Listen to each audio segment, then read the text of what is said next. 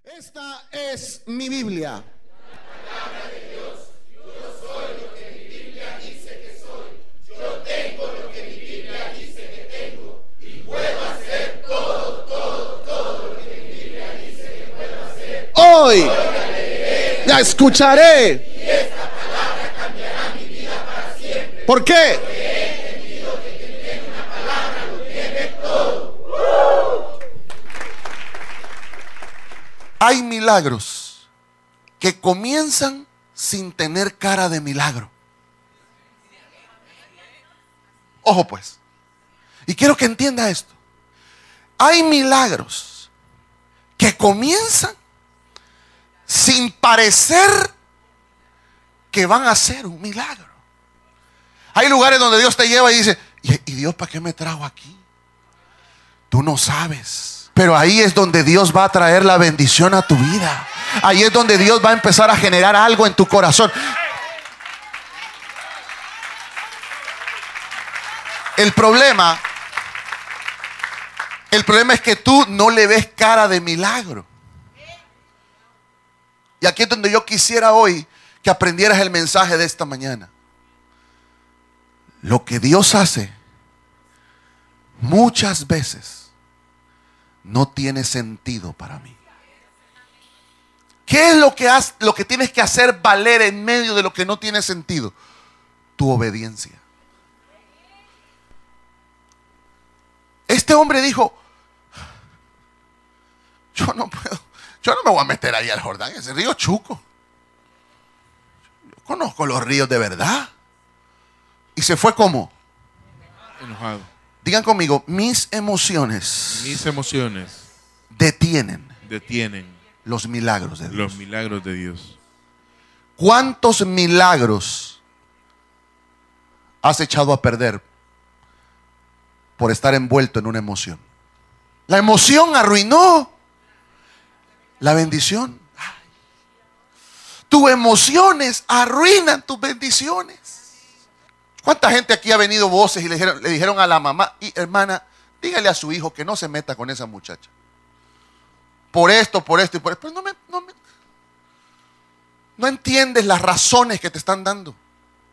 No es en Farfar, no es en Habana, es en el Jordán. Por eso es que usted va a ver en el libro de Proverbios que dice la palabra, hijo mío, entiende mis razones.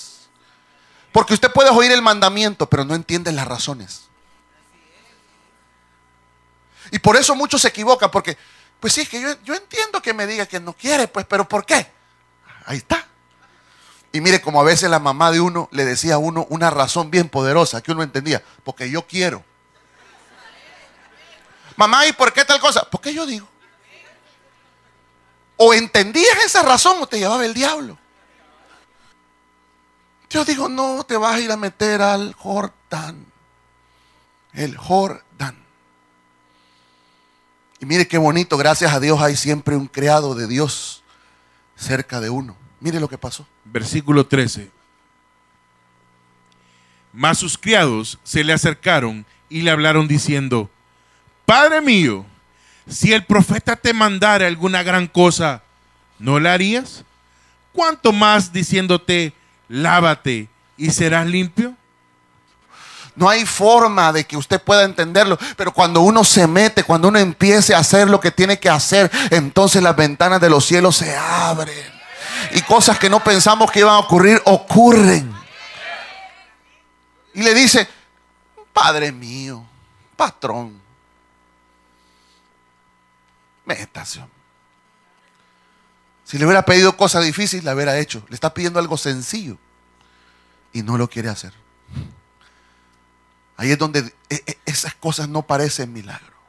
Hay otra historia. Libro de qué? Mateo capítulo 25. Mateo 25, 14.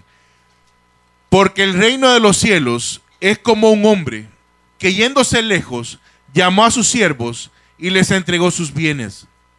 A uno dio cinco talentos, y a otro dos, y a otro uno, a cada uno conforme a su capacidad, y luego se fue lejos. Y el que había recibido cinco talentos fue y negoció con ellos, y ganó otros cinco talentos. Asimismo, el que había recibido dos, ganó también otros dos. Pero el que había recibido uno, fue y cavó en la tierra y escondió el dinero de su señor. Después de mucho tiempo vino el señor de aquellos siervos y arregló cuentas con ellos. Y llegando el que había recibido cinco talentos, trajo otros cinco talentos, diciendo, Señor, cinco talentos me entregaste, aquí tienes, he ganado otros cinco talentos sobre ellos. Y su señor le dijo, bien buen siervo y fiel, sobre poco has sido fiel, sobre mucho te pondré, entra al gozo de tu señor. Llegando también el que había recibido dos talentos, dijo, Señor, dos talentos me entregaste, aquí tienes, he ganado otros dos talentos sobre ellos. Su señor le dijo, bien buen siervo y fiel, sobre poco has sido fiel, sobre mucho te pondré. Entra en el gozo de tu señor. Pero llegando también el que había recibido un talento, dijo, Señor, te conocía que eres hombre duro, que ciegas donde no sembraste y recoges donde no esparciste. Por lo cual tuve miedo y fui y escondí tu talento en la tierra. Aquí tienes lo que es tuyo. Respondiendo su señor le dijo, siervo malo y negligente, sabías que ciego donde no sembré y que recojo donde no esparcí. Por tanto, debías haber dado mi dinero a los banqueros y al venir yo hubiera recibido lo que es mío con los intereses. Quitadle pues el talento y darlo al que tiene diez talentos, porque el que tiene le será dado y tendrá más, y al que no tiene, aún lo que tiene le será quitado. Y al siervo inútil, echadle en las tinieblas de afuera. Ahí será el lloro y el crujir de dientes. Mira qué interesante. No desprecie lo insignificante. ¿Sabe por qué? Porque el problema que tenemos es que hay gente que está aquí sentada hoy que Dios le dio cosas y las viste demasiado pequeñas y de eso ibas a comer toda tu vida. De eso ibas a comer. Tú dices, pero es que esto que yo hago, no. Y sabes que vas a la calle y ves que otro lo está haciendo y está haciendo plata de lo que Dios te dio a ti.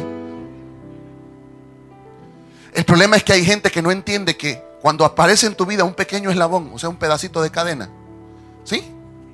Tú no sabes que después de ese pedacito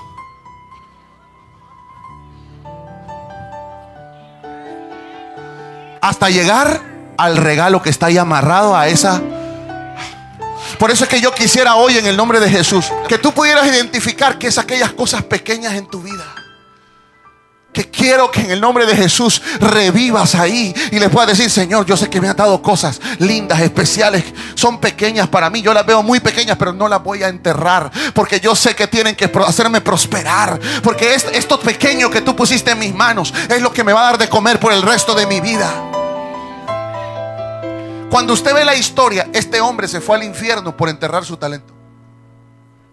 Hay gente aquí que no se va a ir al infierno, ya está en el infierno.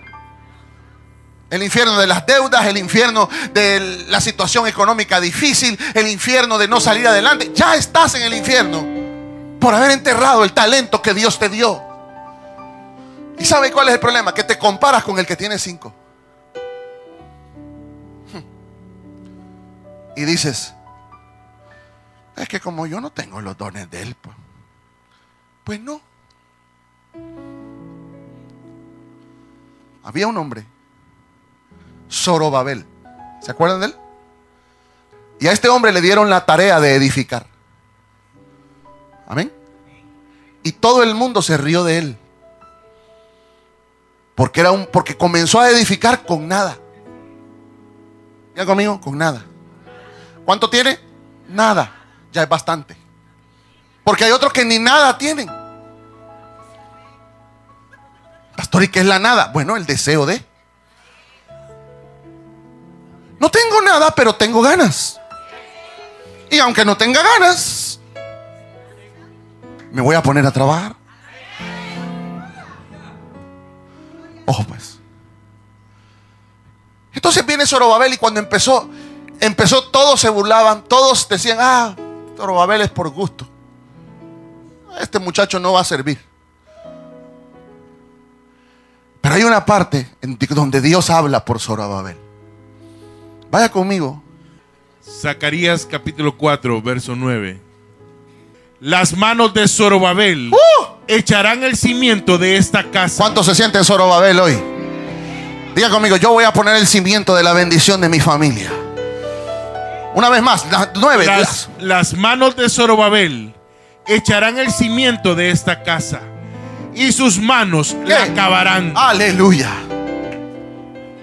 Y conocerás que Jehová de los ejércitos me envió a vosotros. Y este todos juntos, digan conmigo. Porque los que menospreciaron el, El día, día de las de las pequeñeces pequeñeces. se alegrarán. Aquellos que despreciaron lo pequeño, un día se van a admirar. Aquellos que te vieron comenzar con nada. Aquellos que vieron que tú no entendías lo que estaba pasando, pero dijiste, esto pequeño Dios lo va a multiplicar. Hay gente aquí que Dios te ha dado un don, no lo entierres, por favor. He venido de parte del cielo a decirte, no entierres el don que Dios te ha dado. No entierres el talento que Dios te ha dado. Valóralo. Ponlo en un lugar especial. Pastor, pero es pequeño. No menosprecies. Como dice ahí, no menosprecies el día de las pequeñeces. A eso que tú le llamas pequeño. A eso que tú le llamas insignificante. ¿Qué es una piedra contra un gigante? ¿Qué es una vara? Usted le llama un palo.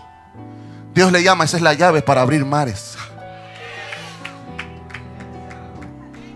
No menosprecies las cosas pequeñas.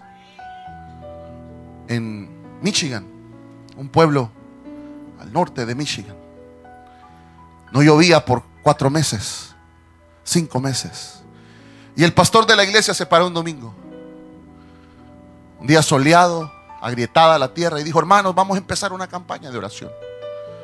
Así que a partir de mañana, todos los días, vamos a empezar a orar para que llueva. Para que llueva. Y empezaron a orar ese día. Oraron, no hubo culto. Empezaron a orar para que lloviera, para que lloviera. Para que lloviera, para que lloviera. Y después de una semana de campaña de oración se ponía más caliente y no llovía. Hasta que el siguiente domingo venían todos los hermanos. El pastor se paró en la puerta a repartir una hoja, una guía de oración. Cómo orar para la lluvia. Y en eso venía una niña con una capa de lluvia y una sombría. Y todos la miraban. Venía con sus botas de agua, con su chaqueta de lluvia y una sombría. Y el pastor la detuvo y le dijo, hija, ¿por qué vienes así? Y que no estamos orando por lluvia. Yo vine preparada.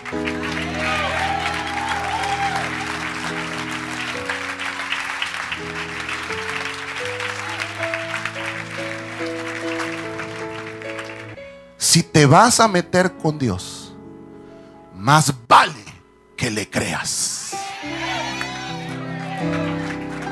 Póngase de pie y vamos a orar. Padre, en el nombre de Jesús. Hay gente aquí que se ha metido contigo, pero no quiere ponerse la sombría. Todavía cree que tú no puedes usar sus dones. Señor Jesús, esta mañana queremos entregar nuestro don en tus manos para que lo multipliques. Quiero hacer un llamado hoy muy especial antes de cualquier otra cosa. Si hay alguien aquí que dice, pastor, yo había enterrado mi don y hoy lo desentierro y lo pongo a trabajar, levante su mano bien alto. Padre, en el nombre de Jesús, mire esa mano levantada hoy. Dios me dice que te diga, yo sé que crees en mí, pero es tiempo que creas en ti mismo. Que creas en ti misma. Que creas que yo te di ese don. Que creas que yo te di esa bendición. No te menosprecies, dice el Señor. Oh, Rabba.